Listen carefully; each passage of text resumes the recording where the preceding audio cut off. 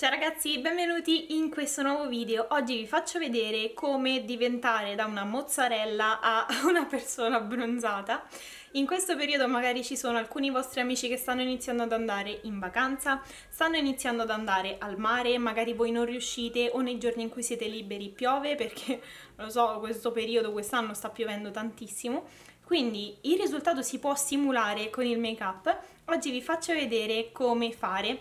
Ricordatevi comunque che non possiamo, non lo so, passare da me a Naomi Campbell, cioè il L'effetto deve sempre essere naturale, non può essere qualcosa di snaturalizzato, si dice così, non lo so. non possiamo estremizzare questo effetto abbronzato se poi realmente siamo di una carnagione chiara o comunque non possiamo rendere il viso troppo scuro se il corpo comunque è chiaro, creeremo uno stacco che risulta visibile. Ricordatevi che dobbiamo sempre lavorare con quello che abbiamo, dobbiamo valorizzarci, ma non dobbiamo sembrare dei pagliacci, non dobbiamo esagerare con l'applicazione del trucco. Una cosa molto importante che sono sicura che tantissimi di voi che stanno guardando fanno, la terra non si applica su tutto il viso, ragazzi, mi raccomando, è una cosa che io vedo fare non spesso di più, la terra non si applica sul viso per due motivi. Uno, sembrereste un umpa lumpa o comunque il vostro viso diventerebbe di un color arancione carota e due, perché in questo modo andate a schiacciare e ad appiattire il vostro viso. Invece oggi vi faccio vedere come si applica la terra per dare un effetto abbronzato al viso, allo stesso tempo mantenere un viso tridimensionale, quindi magari avere anche gli zigomi in evidenza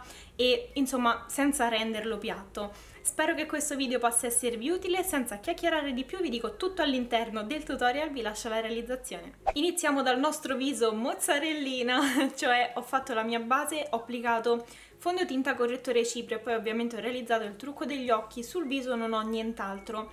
Primo consiglio, se volete sembrare leggermente più abbronzati potete applicare un fondotinta più scuro, ma attenzione, il fondotinta deve essere di una mezza tonalità più scura, cioè non si deve vedere che avete applicato un... mi sa che sono fuori fuoco? Mi metti a fuoco? Ok.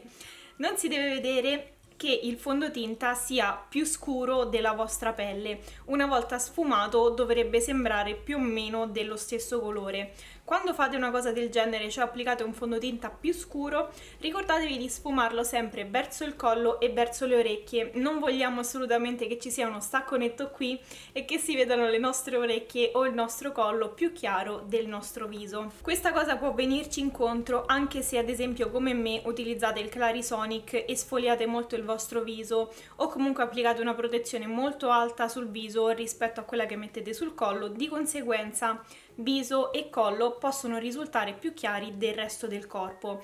In questo caso ovviamente quando ci abbronziamo dobbiamo applicare sul viso un fondotinta che riporti il colore del viso più o meno a quello del nostro corpo. Passiamo al secondo step, vi consiglio di applicare un mix di due terre, io ne utilizzo una in crema e una in polvere, in questo modo il risultato abbronzatura sarà più naturale che se applichiamo solo una terra in polvere. Potete farlo assolutamente solo con una terra, però vi ripeto, se applicate un mix di queste due sicuramente il risultato sarà molto più naturale. Questa terra che eh, utilizzo io è la Scat Glow di Model Zone ed è una terra in crema bellissima. Questo qui è il colore Golden Glow 05. Io l'applico con la spugnetta ma si può applicare tranquillamente anche con il pennello. Come si fa? Si preleva in questo modo, vedete con il lato della spugnetta, non esce fuori, questa spugnetta già l'avevo utilizzata per sfumare il correttore. La spugnetta non preleva tantissimo prodotto ed è questo che mi piace di questa terra in crema, è facilissima da usare e si sfuma bene ed è eh, facilmente applicabile sia sotto sia sopra il fondotinta. Mi raccomando, ricordatevi di applicarne poco alla volta perché facciamo sempre in tempo ad, aggiu ad aggiungere, ma poi andare a togliere diventa un casino, quindi mi raccomando, andiamo sempre per step.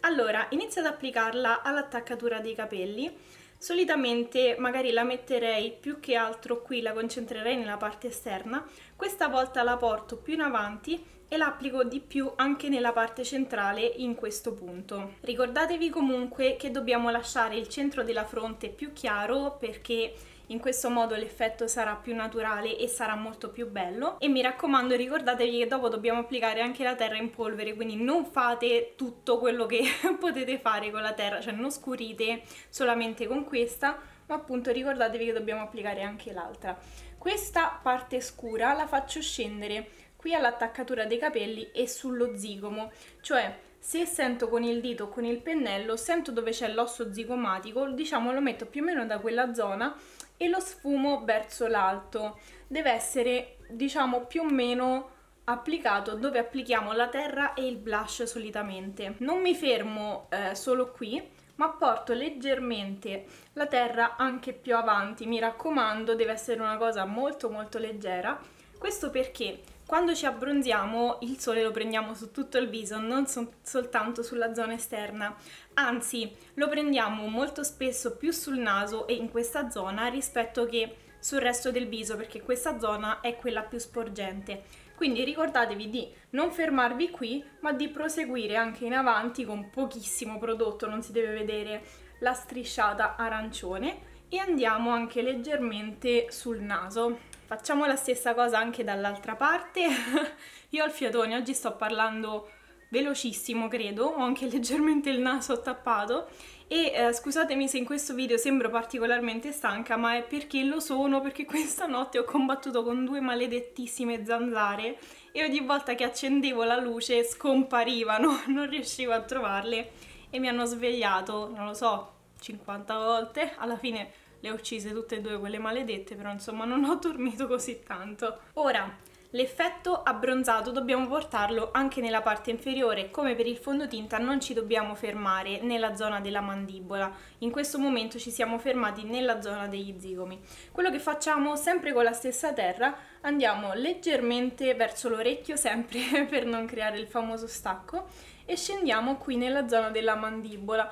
Attenzione ragazzi perché qui la terra deve essere applicata con mano davvero leggerissima. Se avete bisogno scaricate un po' la spugnetta sul dorso della mano e poi applicatela. Il motivo è perché se ne applichiamo troppa e se si vede la strisciata scura in questa zona potremmo andare a ricreare l'ombra della barba maschile. Di conseguenza il nostro viso potrebbe sembrare più mascolino anche se non lo è, quindi mi raccomando mano leggerissima e siccome vogliamo portare l'effetto abbronzato come vi dicevo prima anche verso il basso, proseguo con la stessa terra, sempre con mano leggera, ad applicarla nella zona del collo. il collo, nella maggior parte dei casi, è più bianco del viso e del corpo. Questo perché quando prendiamo il sole, quando camminiamo, sul collo ci facciamo ombra con il viso, quindi il collo è quello che si abbronza di meno di tutti. Come per tutte le parti del viso, mi raccomando applicatene poche alla volta, non vogliamo creare delle macchie o delle zone in cui si vede che abbiamo applicato più terra che in altre. E mi raccomando non fermatevi qui ma magari con la spugnetta andate leggermente anche verso dietro. Ricordatevi che quando facciamo queste cose dobbiamo oh mi è uscita una bolla qui. Forse una, una bolla nella zanzara di stanotte eh, vi dicevo, quando facciamo queste cose dobbiamo sempre evitare di creare stacchinetti o righe eh, appunto nette, dobbiamo sempre ammorbidire ogni linea che creiamo sul viso e sul collo. Se avete i capelli corti specialmente ricordatevi di non fermarvi qui perché dietro se no si vede che c'è un pezzo più chiaro e il resto più scuro, ma con la spugnetta magari vi tamponate un po' così in giro e si creerà una riga sfumata. Anche questo passaggio è completato, adesso passiamo all'applicazione della terra in polvere. Qualsiasi terra va bene, ricordatevi che deve essere una terra arancione, non tortora, perché in questo caso andiamo a ricreare proprio l'effetto abbronzato del viso. Quindi dobbiamo andare a simulare un po' il colore della pelle che eh, abbiamo quando si abbronza e ricordatevi sempre di prendere una terra opaca o satinata mai glitterata mi raccomando ragazzi. Prendo un po' di terra con il pennello. Mi raccomando non andate mai direttamente così ad applicarla sul viso perché nel momento in cui poggiate il pennello sul viso il pennello rilascia grande quantità di prodotto e rischiate di fare le macchie. Scaricate sempre un po' il pennello sulla mano, qui sul polso, sul dorso, dove volete e come per la terra di prima cercate di applicarne poca alla volta perché ad aggiungere si fa sempre in tempo. Inizio dal collo perché a me piace così, potete iniziare da dove volete. Calcolate che andiamo a mettere la nostra terra negli stessi punti di eh, dove abbiamo messo l'altra terra in crema. Anche qui la sfumo un po' verso il décolleté, soprattutto se avete una maglietta scollata e mm, portate, cioè cercate sempre di sfumarla un po' ovunque. Se avessi avuto una maglietta così ovviamente mi sarei fermata qui. Continuo ad applicarla qui all'attaccatura dei capelli. Um, in questo momento mi trovo bene ad applicare la terra con questo pennello che in realtà è un pennello specifico per la cipria. E se ci fate caso non vado a strofinare il pennello ma lo vado eh, quasi a tamponare, vedete? Anche qui passo dove ho applicato la terra prima, scendo leggermente verso la mandibola, scarico bene il pennello, passo sul naso e qui dove siamo passati prima. Dobbiamo cercare quasi di creare, vedete, una W più facile di così. Quando applichiamo la terra solitamente diciamo creiamo un 3, questa volta creiamo un 3 più una doppia bocca al centro del viso. Se vedete che magari in alcune zone risultano troppo chiare rispetto a dove abbiamo applicato la terra, potete sempre andarci con il pennello scarico così un po' in giro, quello valutate voi, se magari che ne so, vedete che il mento è troppo troppo chiaro, ci passate leggermente sopra e in questo modo andate ad uniformare il colore di tutto il viso. Anche questo step è completato, adesso applichiamo il blush. Cercate di, anche questa volta, scegliere un blush che sia del colore di quando la vostra pelle si arrossa leggermente. Ora vi faccio vedere il motivo. Prendiamo un bel pennello ampio, comunque il pennello con il quale applicate il blush. Anche questa volta scarico il pennello e quello che vado a fare, vado diciamo a ricreare un effetto di pelle leggermente arrossata, ovviamente deve essere lieve, però in questo modo sembrerà come se ieri fossimo andati al mare e invece non l'abbiamo fatto, eh, quindi la nostra pelle, pelle sembrerà essere leggermente arrossata e appunto avremo l'effetto di aver preso realmente il sole. Passiamo leggerissimamente qui nella zona della fronte. Vi ripeto ragazzi, il pennello deve essere quasi completamente scarico di prodotto, eh, più di quando applichiamo più di quando abbiamo applicato la terra. E mi raccomando in questo momento il prodotto deve essere rigorosamente opaco non deve assolutamente essere né satinato e né eh, glitterato. Glitterato assolutamente no.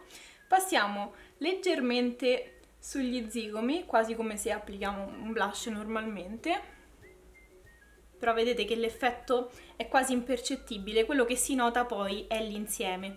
Anche questa volta passo leggermente qui nella zona della mandibola, però vedete che vado un po' in modo generico su tutto il viso, perché vi ripeto, la nostra pelle in questo modo sembrerà essere leggermente arrossata, come se avessimo preso il sole. Scendo anche questa volta verso eh, il décolleté. Cosa super importante, l'applico qui sul naso perché vi ripeto, faccio sempre la famosa W, eh, in questo modo sembrerà realmente che uh, ho preso il sole in questa zona. Ora applico sulle labbra un rossetto, lo applico di un colore caldo sempre per riprendere tutti i colori caldi aranciati di pelle abbronzata del viso, non c'è assolutamente una regola, potete applicare il rossetto che più preferite, in questo caso ho scelto questo qui che è Ludwig di Kat Von D. Potremmo fermarci qui a questo punto e il risultato, vedete, sarebbe naturale, carino e la nostra pelle sembrerebbe abbronzata, però se naturalmente quando vi abbronzate vi escono le lentiggini, è una cosa che a me succede, qui nella zona del naso quando mi abbronzo mi escono un sacco di lentiggini, eh, potete andarle a ridisegnare. Come fate? Prendete una matita per sopracciglia, un brow pot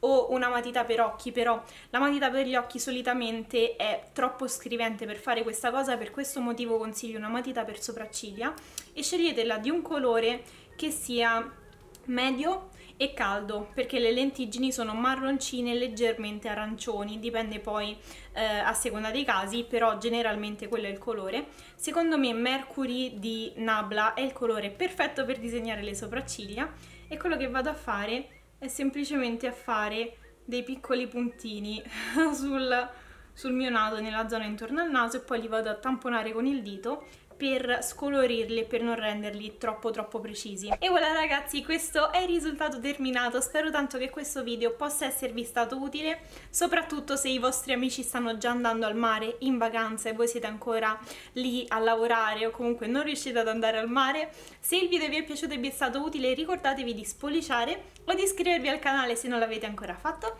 Io vi mando un grandissimo bacio e ci vediamo prestissimo nel prossimo video. Ciao! Ooh.